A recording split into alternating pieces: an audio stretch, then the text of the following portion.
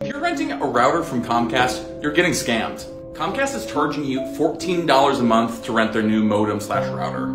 If you do the math, it comes out to $168 a year to rent the router from them. You can buy a router that's gonna give you way better Wi-Fi performance. That means faster, works everywhere around the house, whatever, for about $100. You'll also need to get a modem to hook into your router, uh, and that'll run you about 90 bucks.